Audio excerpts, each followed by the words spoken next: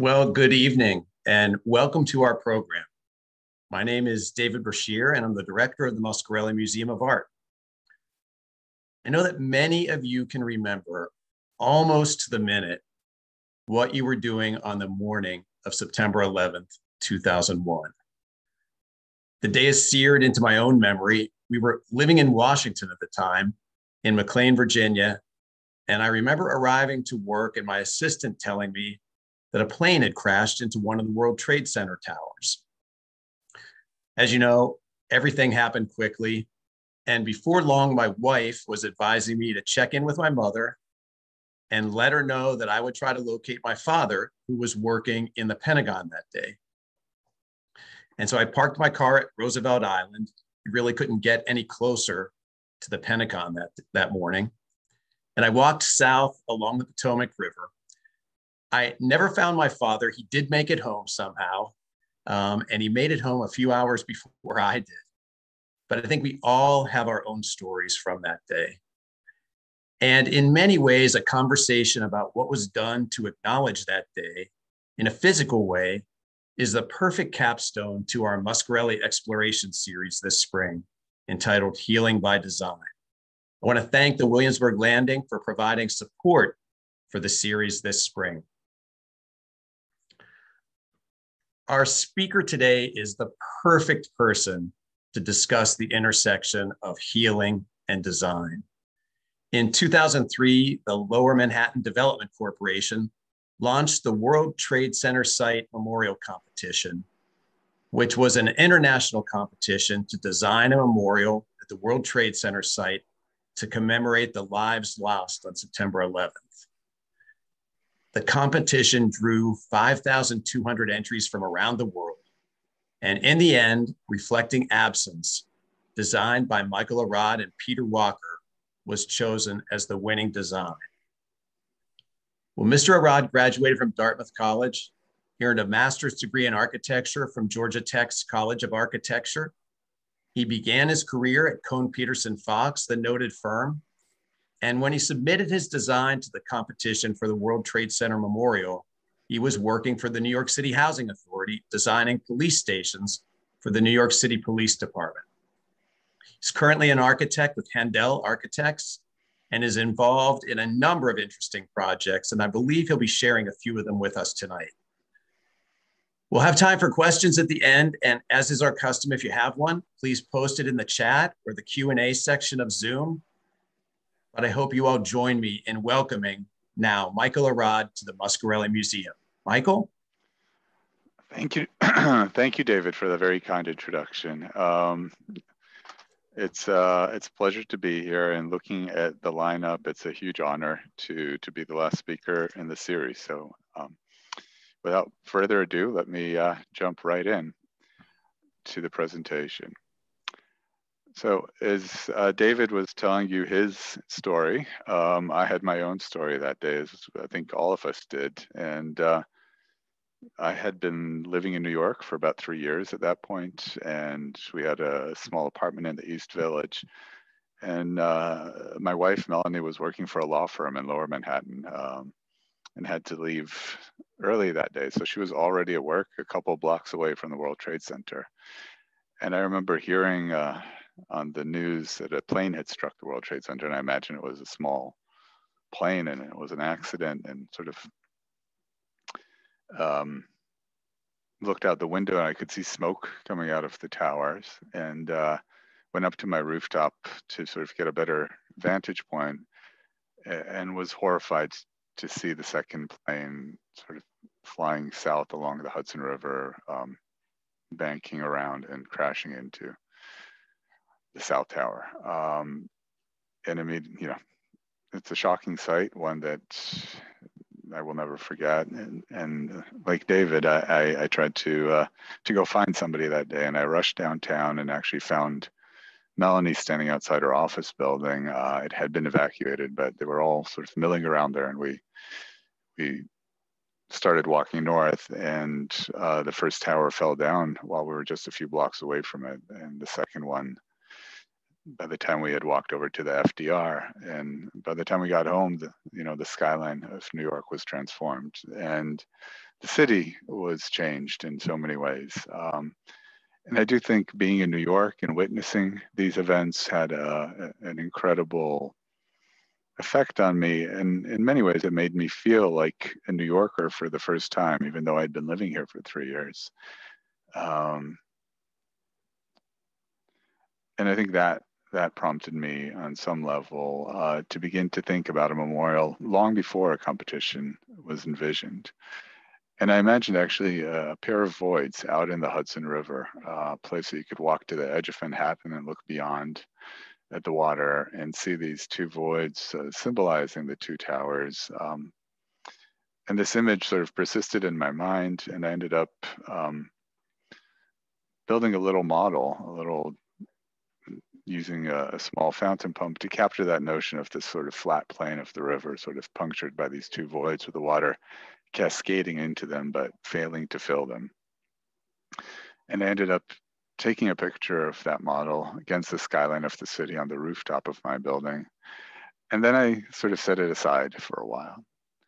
And I, I came back to it a year later uh, when a competition was held for the design of a memorial at the World Trade Center site.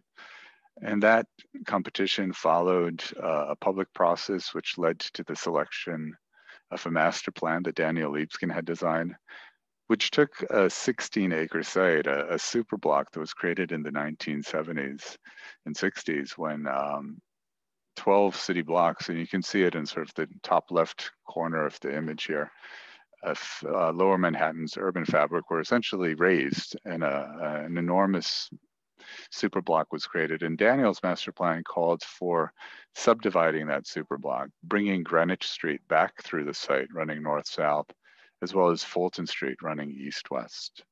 And I thought that that instinct was the correct instinct to sort of try and weave the site into the city and that um, the 10 million square feet of office space, which had um, been demolished, Daniel proposed rebuilding them in a series of five buildings, which would ring the site but keep that center open. And so you can see here um, these sort of lighter green marks denoting where the towers had stood, um, set uh, as a centerpiece of this development. However, the site itself, as uh, the master plan called for it was some 60 feet below the surrounding street level with these enormous buildings bridging over one footprint and cantilevering over the other. And I thought about my own experiences in New York and the days and weeks that followed the event. And in particular, I remember going about two or three nights after the attack, I, I couldn't sleep and I was out on my bicycle riding around lower Manhattan. Um, everything south of 14th Street had been cordoned off, so there was hardly any traffic. Um, and I found my way to Washington Square Park. And at the center of that park is a fountain. And a dozen people or so were standing around that fountain. There were candles and flowers. But you know, there was no ceremony, there was no um, nobody leading this congregation, but somehow the moment that I stepped up to the edge of that circle and stood side by side with a stranger, I felt um, supported in a way that changed that bleak outlook um, a little bit to something that that was very meaningful. And I think that public space, Washington Square Park, provided me and it provided, and public spaces throughout the city provided New Yorkers with a, a way for us to stand together and in doing so, I think uh, we responded differently. I think New York responded with with compassion and with stoicism. And I think uh, you know we build our cities and then they build us. To paraphrase Churchill, um, if we did not have the ability to literally stand side by side, I don't know how we would have reacted. We might have reacted with um, hysteria and fear and xenophobia, and I, and we did not see that in New York. And so when I looked at this master plan and I saw how it completely disconnected the memorial site from the urban fabric by depressing it 60 feet below street level and hiding some of these areas with these buildings which would bridge over them, I thought it was entirely the wrong direction. Um, and so almost as a polemical argument, I proposed something that ignored the competition guidelines entirely and brought this entire plaza up to grade to meet the surrounding streets and sidewalks, to weave itself back into the urban fabric of lower Manhattan. And this normative urban plaza would then be punctured by two voids where the towers had once stood. So a plaza demarcated by West Street to the west, Greenwich to the east, Vesey to the north, and Liberty to the south.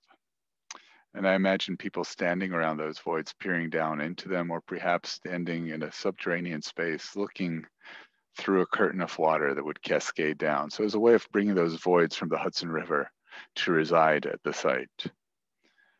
Uh, this was an anonymous competition. Uh, over 5,000 people sent in proposals. And so uh, this is one of probably the last architectural competitions where people still had to actually send in a physical proposal. It was a 30 by 40 inch board. Uh, I remember working on it, printing it, and sending it in. And on this board, um, I showed the plaza at grade, the memorial galleries, but what I'd like to draw your attention to, and it's not that visible probably, are the last two, three words in the text that describes the project. And it talks about on their way to work or play. And it was important for me to say that this is a memorial site, but it also had to to be something that would serve the people who live and work here. Uh, they too would cross the site on a daily basis, and that it wasn't a zero sum game. That something could be both a meaningful memorial, but also an everyday part of of living in New York. And in fact, bringing those two together would enrich it and make it more meaningful to all involved.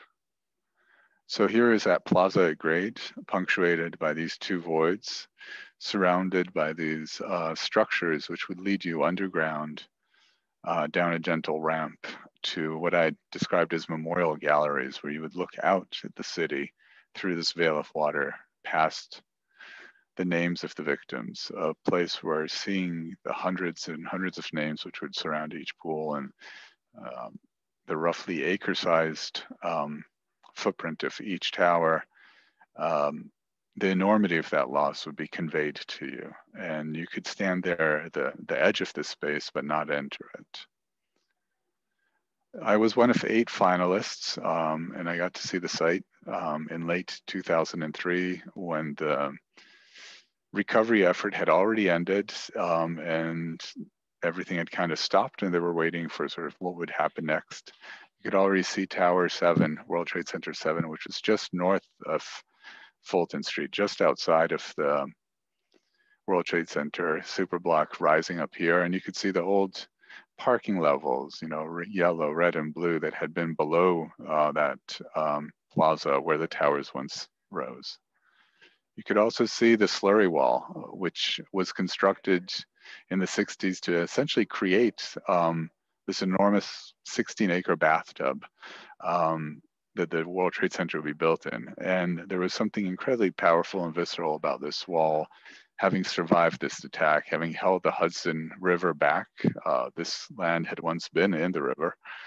And um, its survival became a symbol from the survival of New York in many ways.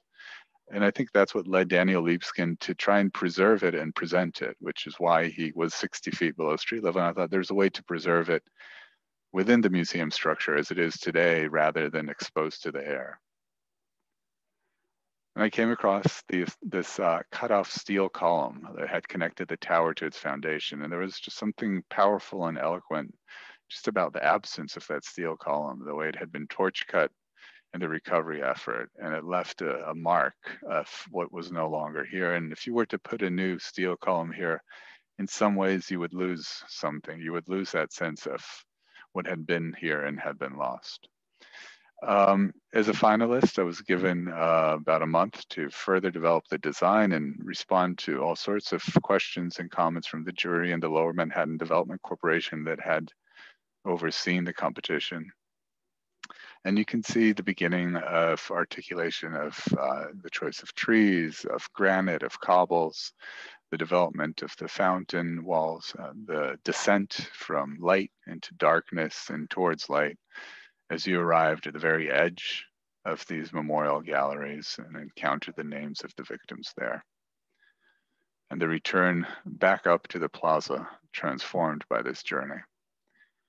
Um, the jury and the LMDC had a lot of comments. They felt that my depictions of the plaza were very austere, as if the space could only be used for memorial purposes. And here I was telling them it would be part of the daily life of the city. And so uh, I added some tall eastern white pine trees, but they still felt that that was not quite enough and challenged me to to do more with the landscape, at which point I also reached out to Peter Walker for his help, as well as to uh, a very dear professor at Georgia Tech, Doug Allen, who unfortunately has passed away, who uh, was really my a source of inspiration to me in many ways throughout my graduate education and thereafter. And so it was great to reach out to Doug. And as I tried to find a way of um, changing the nature of that plaza without overwhelming the clarity of that first gesture of a flat plane and the two voids, sort of linking it back to that design idea from the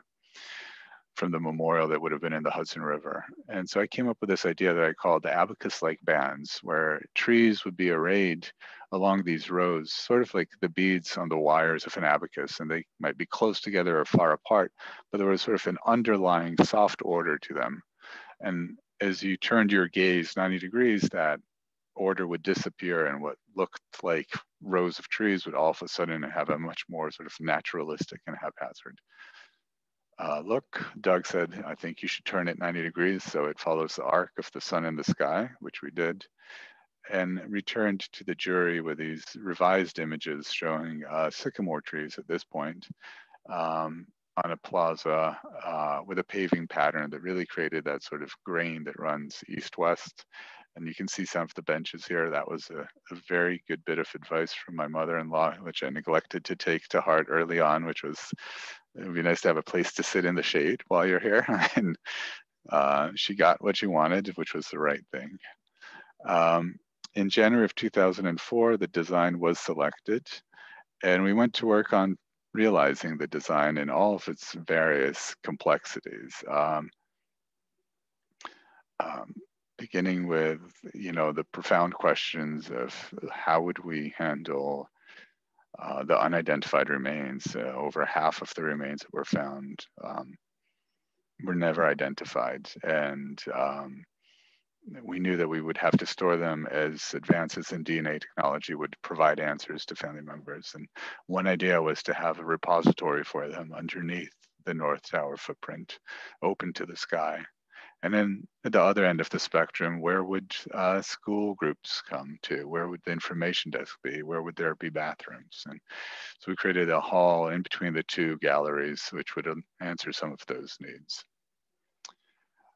One of the first tasks we took on was the design of the um, fountain walls and how would they appear like this uh, beautiful example, uh, Paley Park on 53rd Street in Manhattan, where the wall, the water clings to the surface of the wall. The wall is slightly canted, uh, it's very rough, and there's a lot of water involved to create that visual effect that is so beautiful. Or would it be more like this um, water feature, the World Financial Center, where the water free falls after going over a serrated weir edge. And we ended up opting for that second idea um, because we thought we that the water as it splashed into the pool should fall as far away as possible from the people walking in those memorial galleries behind that water feature.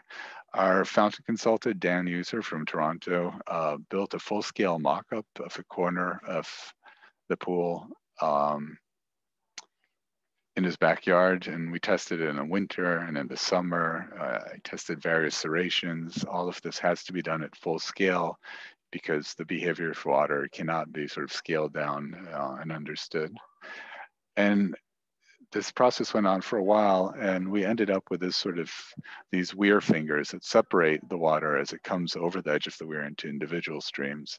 And as they fall some 30 feet, the clarity of each individual stream um, disappears. The, these strands of water are woven together, creating sort of a, a tapestry. And to me, this notion of both individual and collective loss was very important to capture in the memorial.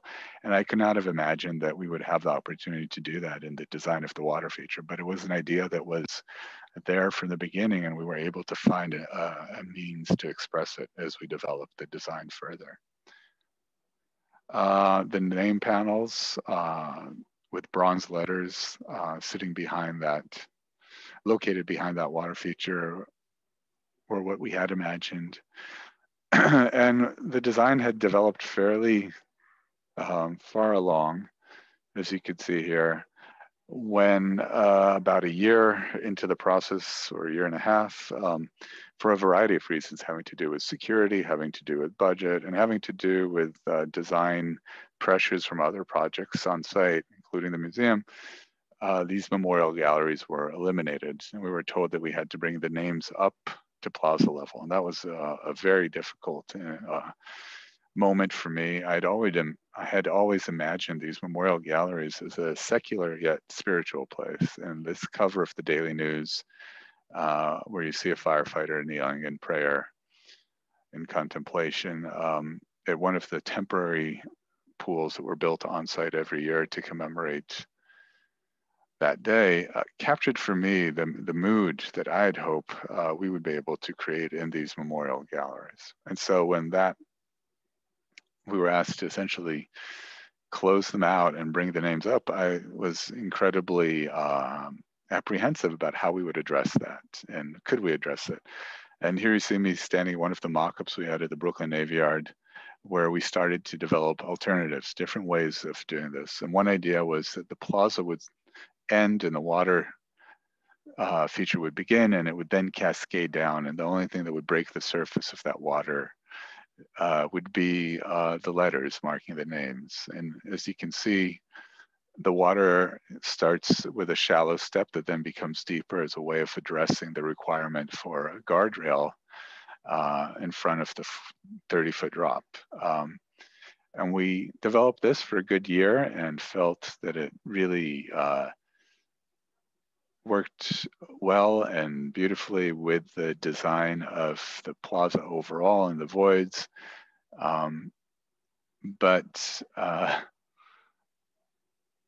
we were told to go back to square one yet again when somebody expressed concern that it would not meet code and would be classified by the Department of Buildings, New York, as a swimming pool and would require a five foot fence in front of it and a lifeguard.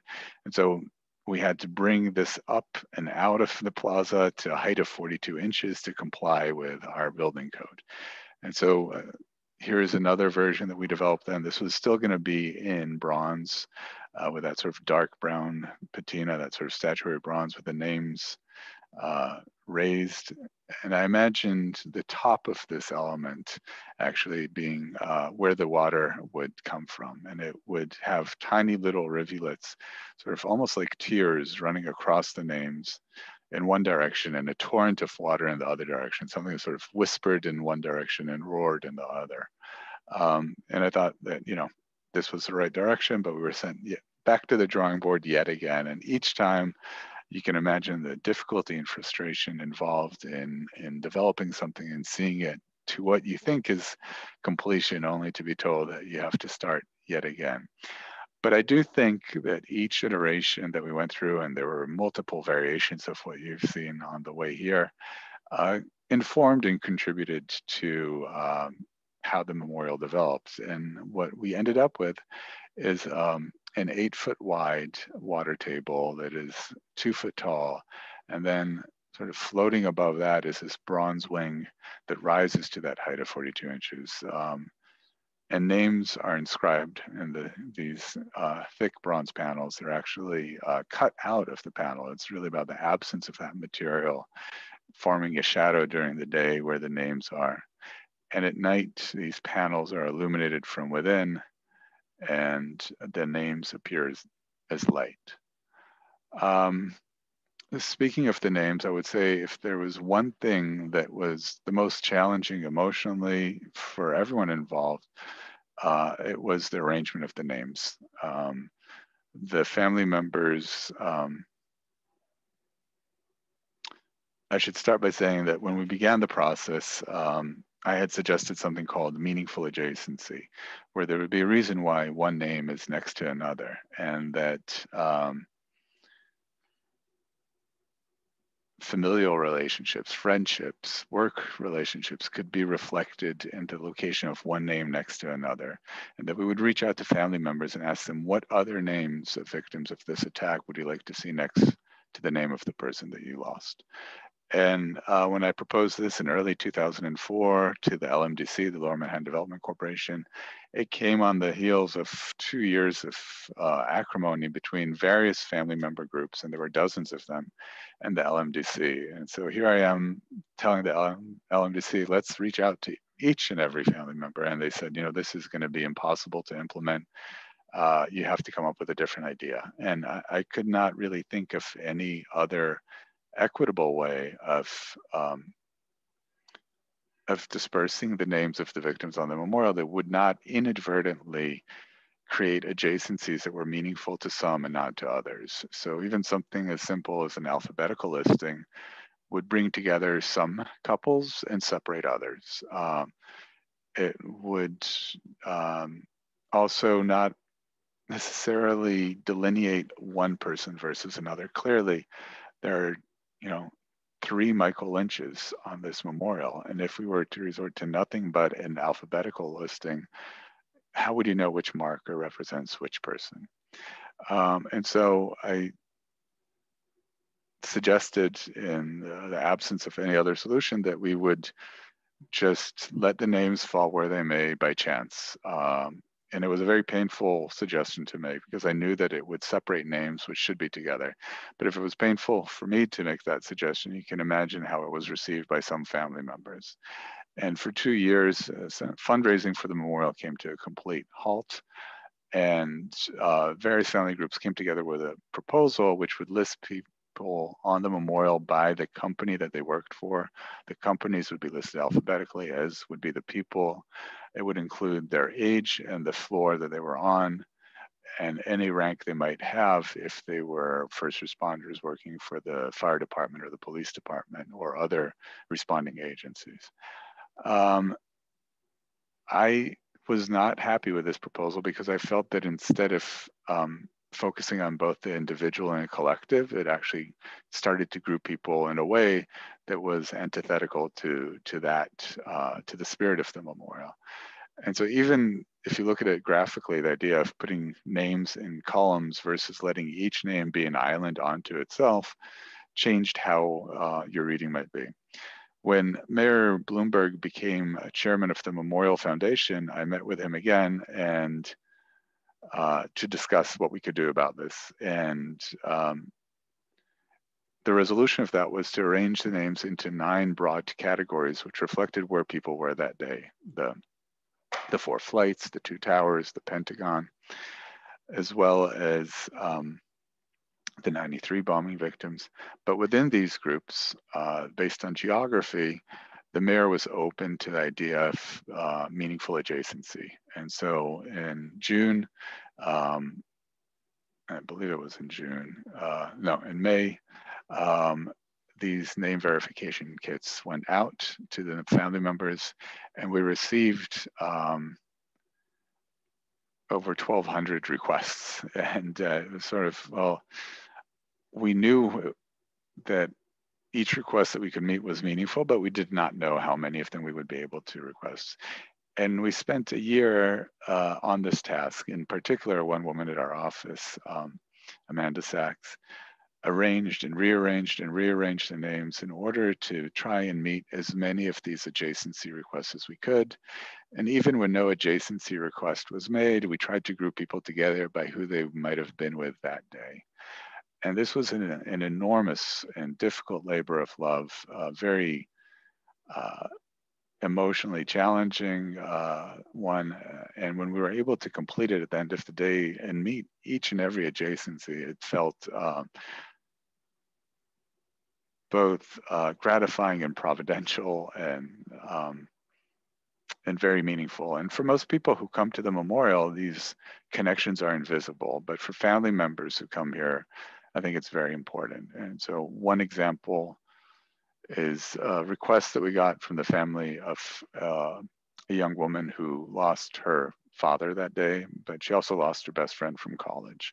Her father was on Flight 11 and her friend was working for Aon at the North Tower. And Flight 11 actually crashed into uh, the North Tower. So her father's name is one of the last names under Flight 11, and her friend's name is one of the first names under um, World Trade Center.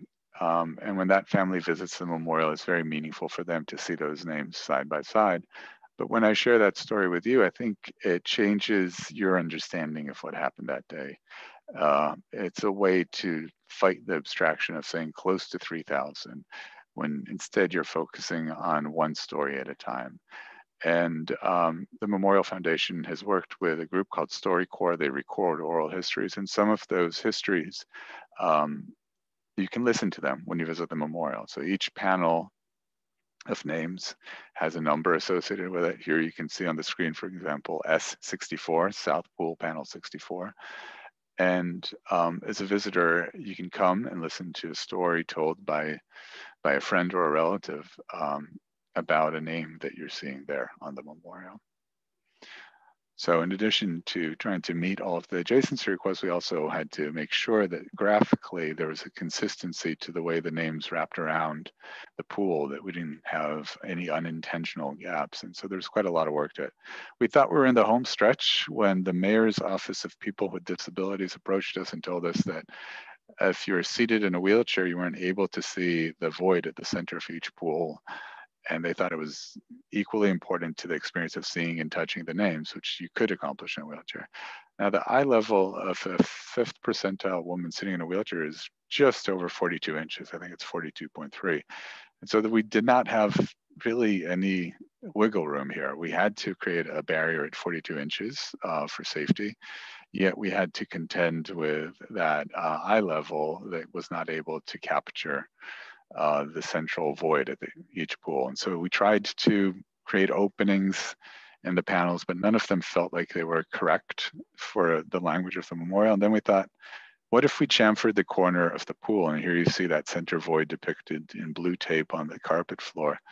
Um, and we thought that would allow you to sort of bring that line of sight closer to the edge of the weir, which was really sort of cutting off the view and then, you know, a few days after we suggested this, we realized um, that the towers actually had chamfered corners. And so we looked at those again and tried to replicate the proportional relationship between the chamfered corner and the long side of each pool and went back to the MOPD very proud with our solution. And they said, you know, not everybody can turn their head 90 degrees while they're seated in a wheelchair to see that void. And so I wanted to pull every last hair out of my head at that point. But then we thought, you know, we cut it in plan, let's also cut it in sections. So instead of that wall coming straight down, these corners kind of jut out almost like the prow of a ship. And I think sculpturally, they're more beautiful. Um, Instead of stopping and starting the names at the corner, we now wrap them from five rows to three rows and back to five, which poetically, the sort of circle of names, it's unbroken, is much more successful than what we had before. But I can't say that uh, we welcomed that request when we first got it, but the project did uh, get better for it in no small part because we were given the time despite all the pressure to to respond thoughtfully to it because in the immediate aftermath of that request, uh, a lot of bad suggestions were made by people involved. Uh, you know, a portion of the plaza that could go up or down on a scissor lift or substituting bronze for glass in some areas, etc. The memorial opened on the 10th anniversary of the attack, and it was an incredibly um, powerful day to come and see the public, the families, the friends um, on this site for the first time. Um, what looks like, you know, a plaza at grade, you know, is actually a green roof above a very complicated network of public transportation. There's a subway line running underneath Greenwich Street, a train that runs to New Jersey, uh, retail concourse, a museum, a chiller plant that serves the five towers. Uh, but all of that complexity is intentionally suppressed and hidden and we've tried to create a place where you can see the past, see what's no longer here. And um, And these are a few images from, from that time. And, uh, you know, it's as if we had built the stage and then the actors came on it and it just changed. You know, everything that we did sort of was inanimate and in coming together on the plaza, I think they brought this place to life in a way that was so meaningful because it is about being here, I think, with others. And that morning we saw these two girls running around, you know, and we also saw this man um, finding the name of his son. And the the fact that these two things can coexist with each other and enrich each other is so meaningful to me. And normally I would stop this presentation here, but a couple of years ago we were uh, asked to come back and respond to an unmet need on the site, something that we had failed to anticipate. And uh, the more uh, we learned about it, the worse I felt about the submission. And we were given the opportunity to redress it. And that was um, the, the enormous number of people that have died since 9-11 of 9-11 related illnesses. Here you see a photo of the recovery effort in the immediate aftermath of the attack. And the people who spent months here um, have developed so many sicknesses. Um, over a thousand of them have died since 9-11 uh, and it is anticipated that there will be more people that will have died of 9-11 illnesses uh, after the attack than during the attack. And they felt uh, invisible and marginalized and that their story was not told in any way on the plaza and that their deaths were um, suffered alone with family uh, over a period of years. Um, so we created uh, what we're calling the Memorial Glade, and it's meant to honor everybody, uh, whether it was those recovery workers or the people who lived in Lower Manhattan. Uh, was a high school nearby that uh, the kids there have already uh, developed a cluster of cancers, which is directly attributable to to what happened. I think, you know, Lower Manhattan opened uh, a week after the attacks, um, and you know, in retrospect, it was probably not the right move. Um, so the first question we had is how do we add to this memorial and where do we add to this memorial? Uh, we do not have a, a, definitive, a definitive list of names. Uh, that list is growing. Um, so it would have to be very different than what we have done at the pools. And sort of alighted on the memorial glade that existed already at the southwest portion of the memorial plaza uh, with a notion of connecting it to the rest of the plaza um, and answering that sort of uh, desire line of walking from the southwest towards the northeast. Uh, this was that area prior to, you know, after the design was completed and before we began our work on the Memorial Glade. And you could see that while the rest of the memorial is teeming with people, this area is completely empty. Um, in part because people were told they couldn't use it. And really only once a year on the anniversary of the attack, after the names were read, the salon was open to the family members and to the public. And it for that one day a year, it was an incredible experience to be there, but it really felt like we should find a way to bring it into the daily life of the memorial. And so here is that area uh, demarcated. And we tried to figure out how we could carve a path through here the memorial, as I said earlier, is very much characterized by this sort of flat plane. And so we wanted to disrupt it, find a, a way of, uh, of working with it and against it. Um, sort of like the way that these rocks are sort of thrusting up. Uh, we started to imagine some elements would come out of the plaza, sort of pointing up towards the sky, elements sort of of uh, uplift and resilience and strength, but also reflecting on the turmoil that was here. So we began to draw these and then we mocked them up and tried to understand how we would weave them in, which areas of lawn we would cover with paving, where these elements might end up, how we could make them look sort of rough and broken but strong. And um, proceeded with this design. Uh, they are man-made, despite the fact that they look natural. We worked with artisans up in Vermont at Rock of Ages to fabricate them. Um, and then we, you can see the process where that they're flaming the surface, which kind of pops it. And then uh, we were able to use steel, which was salvaged from the World Trade Center, to create these metal elements. Um, they kind of bind the stone together, almost like sinews. Uh, a little bit inspired by the idea of kintsugi, of mending broken things with precious metal. And so you can see the path as it is today. Uh, it was a remarkable day. Uh, May 30th is the anniversary of the recovery completion, and it's a day that's marked every year. And um, it was very moving to to see that this year, and to see people touching uh, the stone, touching the steel, and and feeling that uh, there is a place on the Memorial Plaza that acknowledges their their sacrifices. In a very different vein, and I think we I'm starting to run out of time, so I'll I'll speed up. I would I'll talk very briefly about a memorial I'm designing in Charleston at the Mother Emanuel Church, where the horrific shooting happened in 2015. Um, the church is located next to Marion Square. Um, it is um, we were approached to and uh, asked to to contribute design. And what was remarkable to me was how, you know, you can see the church in the immediate aftermath of the attack. Everybody came to that space to leave flowers at the sidewalk there, but there was no there there, so to speak, for the memorial. Where would you actually put a memorial?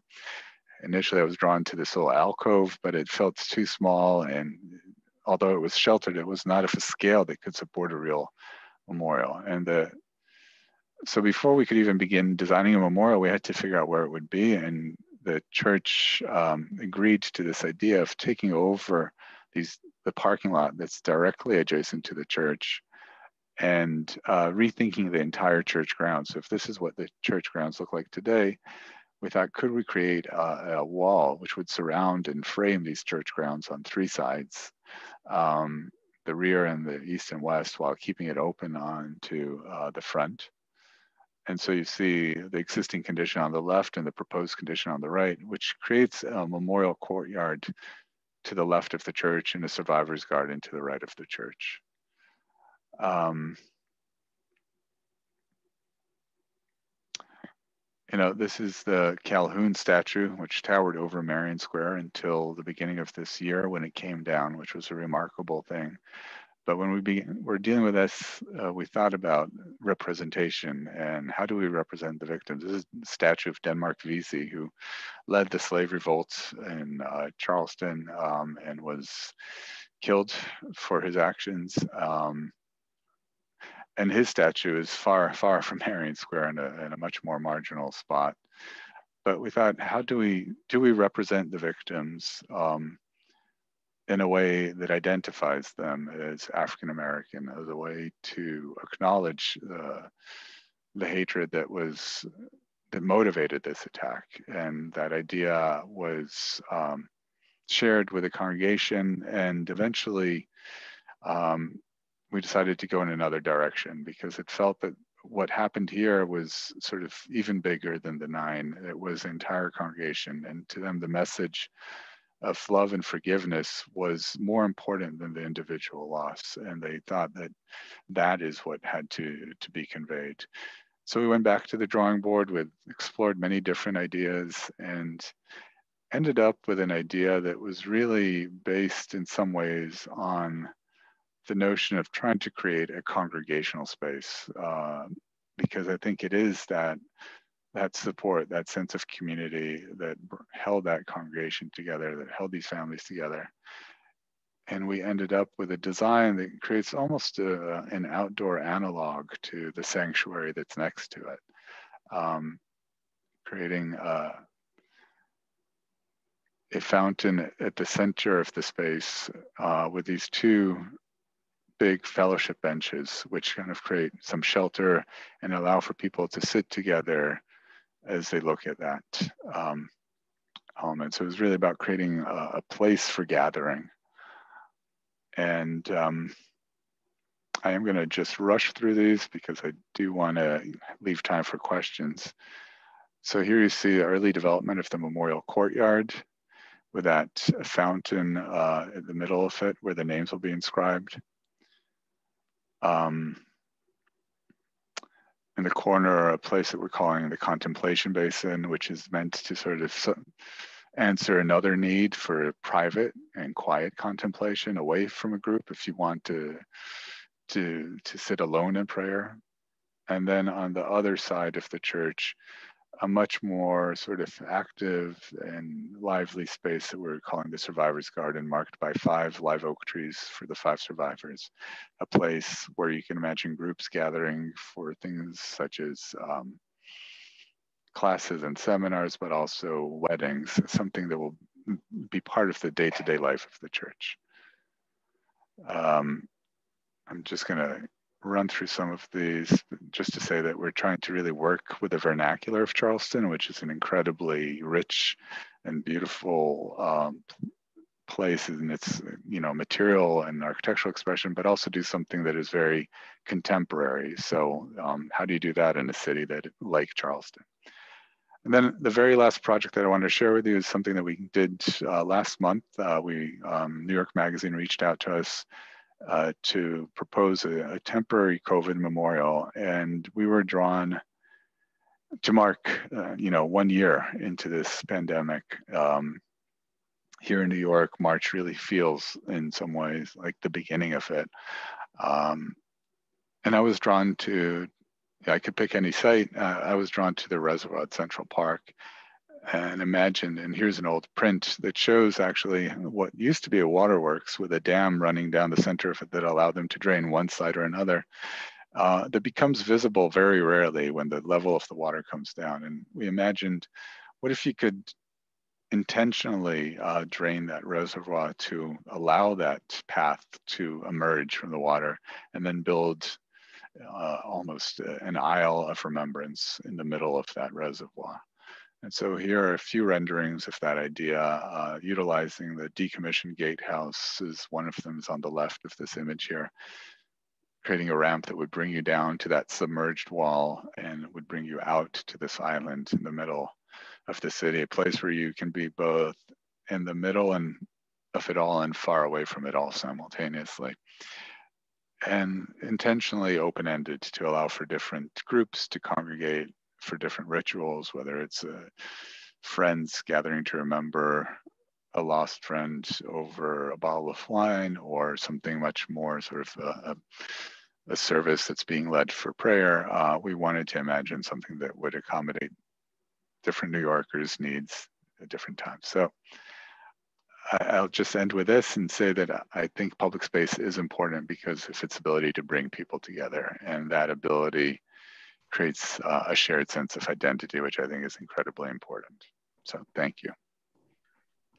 Really, really powerful. Thank you, Michael. Um, I think the poetry in the way you describe all of this weaves it together just so beautifully. And, uh, and also your personal reflections, I know, are so deep to you and meaningful to you. And, uh, you know, we certainly appreciate you sharing all of that with us. Uh, let me start with the first question. Um, what I'm, what I heard from you as you described um, these various projects that you're working on was a little bit again and again um, how you sort of have two approaches.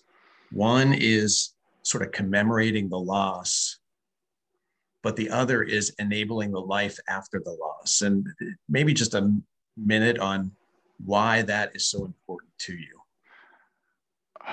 You know, memorials are for the living, right? I mean, we honor the dead, but they are meant to serve the people that visit them. And I think um, in New York, for example, you know, the people who perished here were people who went to their office that day. And I would love, I think it's important that when you visit this memorial, and maybe it's that once in a lifetime pilgrimage, you see people who live here, who work here, on that memorial too, that it's part of your experience of being here, that um, that we live with this past, that we don't just visit it once and and and move on, uh, but that it's part of our daily life. And I know that uh, the same is true in, in Charleston. That congregation uh, is strong and survives, but it's not because they've moved past the past. It's because it's part of their day to day. We have a couple of questions. If we can just go back to sort of the beginning of the uh, of the September 11th memorial. Um, just a couple of questions coming in from our viewers about the competition. Were the eight finalists all anonymous, or did you eventually find out about the other participants? Yeah, eventually I did. In the first stage of that, they actually brought us in two groups of four to see the site so that we wouldn't know everyone, but I, I don't think they really could have brought us in one by one.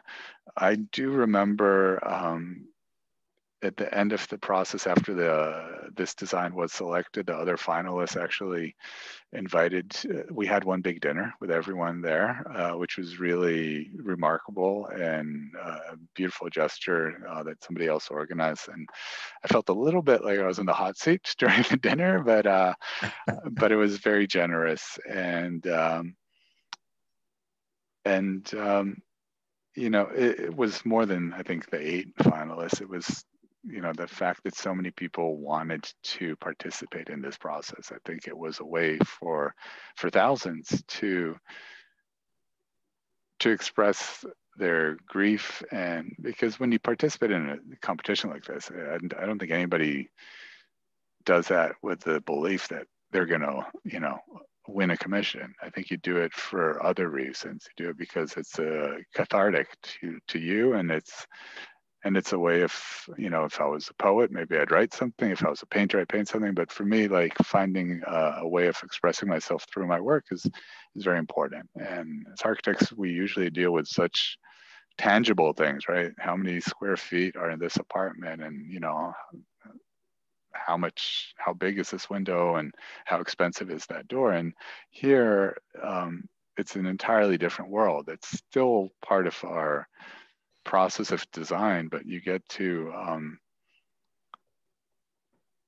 you're not delivering anything um, tangible, uh, you know, rent per square foot. You're deli- you're trying to create something that is that has an emotional impact that people can relate to, and I think that it's a privilege to to work in that realm. Sometimes it's. Uh...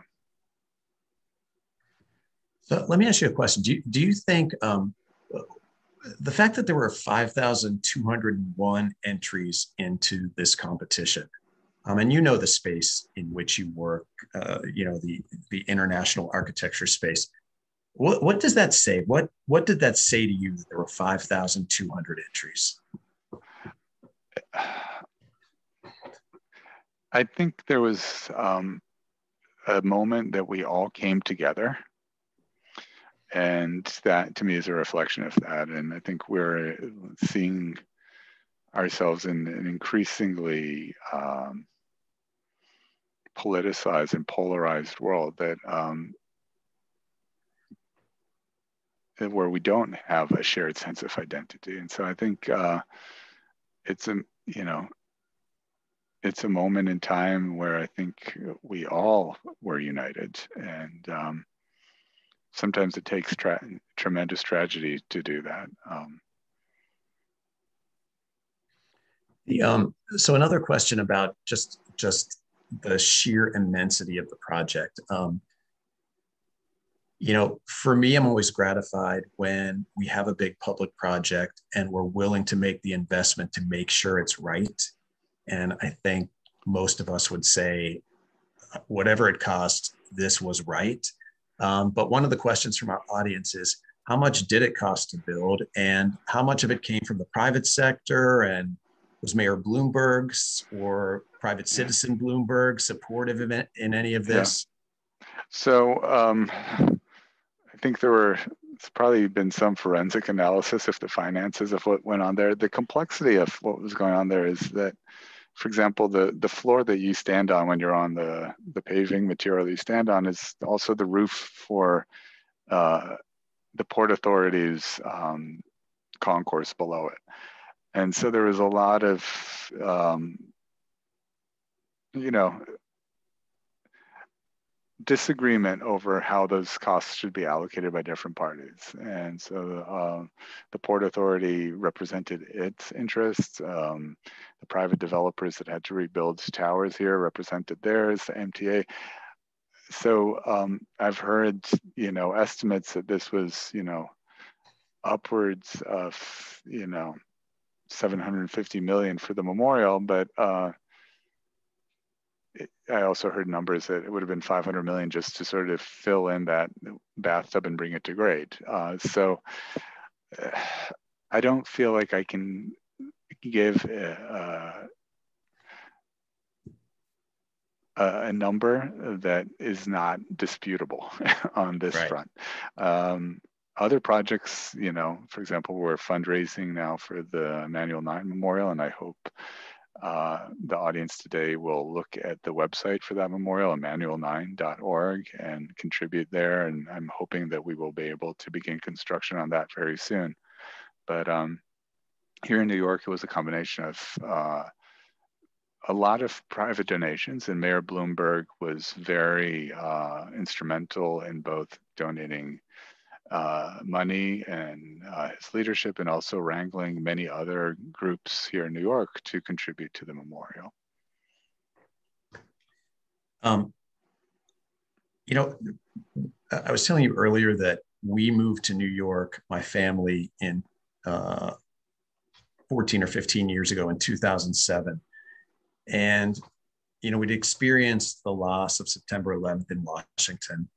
And of course, we all experienced the loss of what happened in New York. But, you know, it felt like getting to the next step was this journey that may not ever end, right? And I think everybody wanted the site to be at its tomorrow, right? Like, let's leave yesterday, let's yeah. seal up yesterday, um, recover from it, mourn from it, but let's get it to tomorrow. But it seemed to be dragging on, and and, and there were all kinds of uh, controversies and issues that arose and things that had to be worked out. In the meantime, your your project is beginning to gain steam through all of that. And I'm just curious, uh, did your project then have an impact on some of the later stages of development in the entire superblock site as you described it? Yeah, and um, you know, I'll just say that when we started this, everybody said it's too soon. We need some distance and time to contemplate this. And then, like, I, I don't know the exact moment in time, but it flipped 180 degrees, and everybody was like, "What's taking so long?" Right. So there was no sort of, you know, in the middle. It was either too soon or not fast enough. Um, and you know, the site is nearing completion right now. Um, there's a performing arts center building that is uh, under construction, will probably open next year. Um, three of the towers are up, two more are to be built uh, of the five that are envisioned for the World Trade Center site. Um, but it was incredibly important for us to open the memorial on the 10th anniversary of the attack to mark that moment with a, an appropriate response. And um, as a result of that, when the memorial opened, the surrounding streets and sidewalks weren't complete yet. And so there was a construction fence around us. Um, the Port Authority argued that they had to build our uh, supports before they would have normally built them in a normal sequence of construction. So they had to kind of build from the top down rather than from the bottom up for the spaces that they were doing below the memorial. Um, and to enter the memorial that when it first opened, you had to book tickets, you had to go through security screening, you had to go through these fences and through a gate. So it was, um, so it didn't have that sense of a public space. Um, but then one day, without any sort of fanfare, a construction fence at the southwest corner, southeast corner of the memorial just disappeared. And all of a sudden, anybody could just walk off the street and onto the Memorial Plaza. And my office is actually just two blocks away from here. And I just ran out and I started to take pictures of strangers just walking onto the plaza. And it, it was such a, uh, a um, a meaningful moment to me to see it begin to weave itself into the fabric of the city. Uh, there were so many naysayers that said, "Oh, you'll never, it will never be open the way you're envisioning it. It will always have fences around it," and um, they're, uh, you know, with COVID now here, they have kind of put a chain around it and they only open it up at noon. But you know, I'm sure that we will return to to normalcy soon. Um, but if you don't build in the ability for these places to be part of the city, to be at grade, to meet the surrounding streets and sidewalks, to weave themselves into the urban fabric, they never will. I mean, things can always be closed off, but it's much harder to to to build something that can be connected. Well, as our last question, I hope I'm not going to embarrass you by this, but I'm going to give it to you. It's from one of our members who always poses great questions in our uh, when we have visitors. They say when you win a Pulitzer, you know the first line of your obituary. what do you think yours would be? uh, um, you know, well, uh, hopefully I won't find out for a long time. there you go. You know, um, I this is an incredible achievement for, uh, and I'm very proud of it, and and humbled by it. And I, I, but then something along else comes along, like the work I'm doing in Charleston, and it is so meaningful to me. And um, you, you know, as important as the work that I did here is to me, it is in the rear view mirror now, and I'm focused on the the next project and how it can have an impact. And it will be different, um, but my hope is that it will be meaningful. And I'm sure it will be. I, I'm going to say that I think maybe the last line might be hopefully decades, if not hundreds of years from now when it's finally written. But uh, perhaps uh, he cared enough to make a difference, and he did. I want to thank you so much for joining us. I hope we have you back to talk about something, uh, some of your other work at some point in the future. It's really been an outstanding evening, and I think we're going to get all kinds of great comments, and people are going to be wishing they could go out to dinner with you. And maybe next time you'll be here, and we will go out to dinner afterwards. I want to uh, just really thank you for taking the time to be with us. I also want to thank our Muscarelle Studios team of Laura Fogarty and Lauren Green for producing tonight's program. And of course, I want to thank all of you for joining in on this journey through a very important time in all of our lives. Thank you all. We look forward to seeing you at our next event. Have a great evening.